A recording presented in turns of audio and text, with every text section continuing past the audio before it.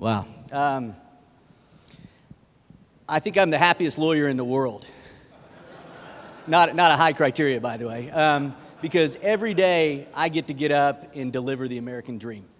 I'm an immigration attorney, and um, I'm not a patriotic person generally, but I get to listen to incredible people say why they want to come to our country.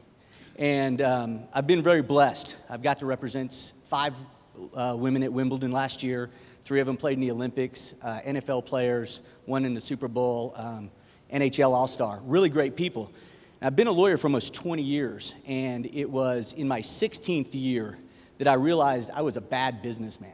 And, uh, you know, a lot of lawyers and doctors and other, you know, kind of skilled professionals, we think about our craft. We think about what we're going to do for other people.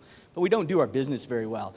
And I met Rob Garibay. And uh, through uh, Brad's incredibly, um, really simple um, process, but with a guy that comes into my office every day and telling me best day of my life um, and keeping me positive, I'm not only winning best small business in North America, but if it wasn't for Rob Garibay and this strategy that, that Brad has had, I think I'd be bankrupt this year. So uh, thank you all very much, and uh, God bless. Go to Rob.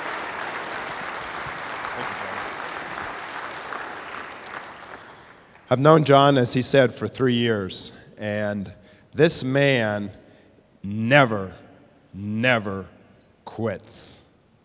He has been through so much adversity and he just continues to press onwards. If we hadn't systemized his business last year, he went through some incredibly challenging personal situations this year and actually had 100% turnover of his employees as staff. But his business kept growing and kept going because we had systemized it the year before.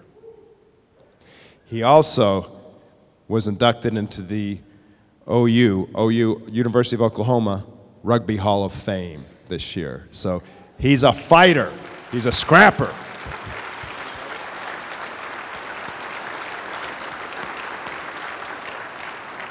I love this guy. And uh, it's such an honor to be a part of the great work that you're doing, Brad, around the world. I mean that sincerely. What a tremendous privilege to help the pillars of our freedom. And that's what all of you business owners are. You're the pillars of our freedom. If we lose you, we lose our freedom. So I have the incredible privilege of helping you maintain our freedoms. Thank you so much.